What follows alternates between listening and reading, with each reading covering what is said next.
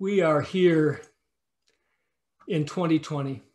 Perhaps it's the year that 2020 has been, but, but as we come to this morning to Christmas 1, the last Sunday of the calendar year, I have to say that I'm looking forward to what I pray will be a better year ahead. Oh, I know that the 24 hour demarcations on the calendar are merely somewhat arbitrary conventions that um, that time just keeps rolling on. But those 24 hour demarcation of days gathered roughly in 365 units to mark out our orbit around the sun, those demarcations are certainly sort of a helpful way for for we humans to organize our lives, to package our memories, and to anticipate the future. And it certainly doesn't take much reflection to realize that the year 2020 has been really like no other in recent memory. For some, it's been a year of great loss and unanticipated change. And for all of us without exception, it's been a year of unprecedented pandemic disruption, 2020. It's a year that was recently summarized in a powerful way for people of faith in a poem by Andrew Roycroft. I'd like you to listen to a recent recording of Andrew Roycroft's poem he recorded it on the shores of Strangford Lough in Northern Ireland. Listen to how he shares this poem.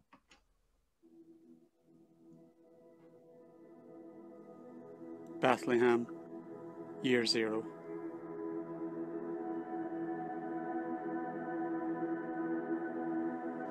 This year, none of the pieces are in place, no finishing touch, just the rush headlong to make the best of things.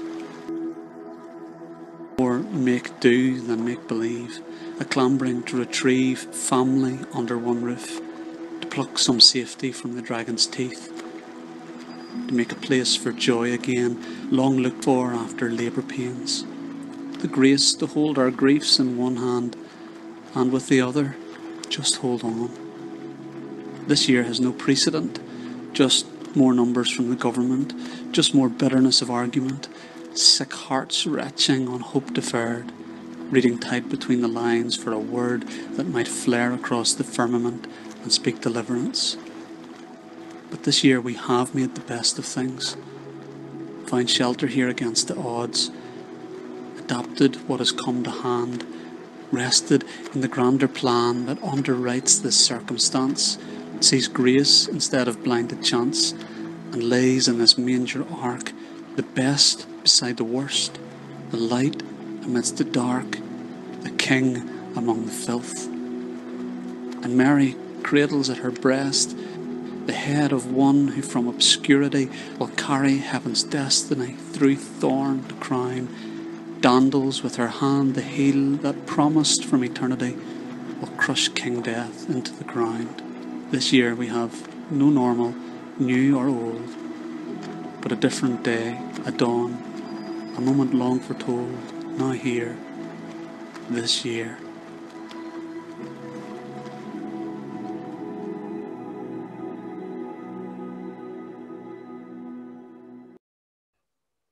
Those last lines of Roycroft's poem.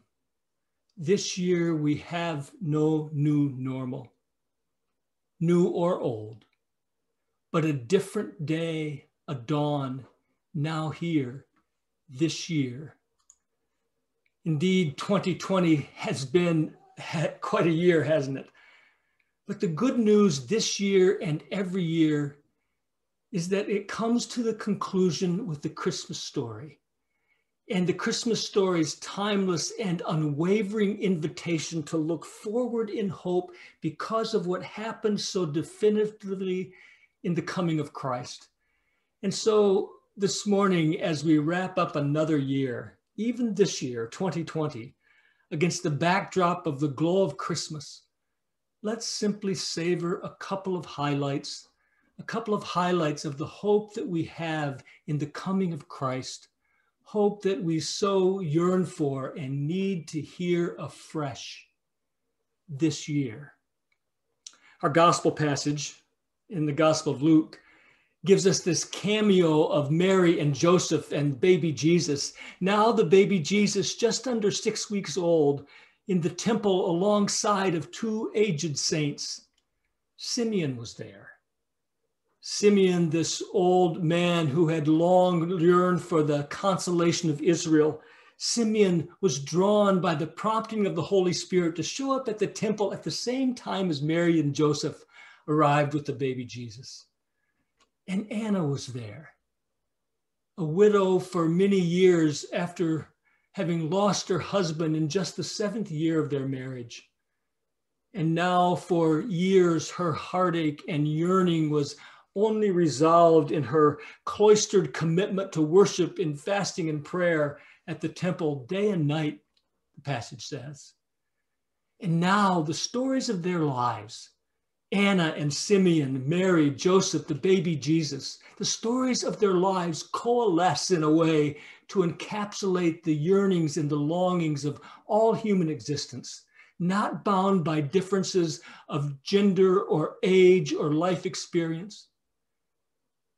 And the highlight of their hope and our hope is that in this little baby, the deepest longings of our lives for the restoration of all that is broken and undone are now certain to be fulfilled. For old Simeon, the passage is that of, uh, of uh, the language in the passage is that of, of the personal fulfillment of one who's long looked forward to the promised one, the one who would to come. And when he sees Jesus, when he sees the baby Jesus, he takes him in his arms and says, now I can depart. Now I can depart in peace because my eyes have seen God's promised restoration for all people. For Anna, the language moves then beyond her own personal fulfillment. In her language, she begins to speak of the expansive inclusion of all, all people who were looking for the redemption of God's people.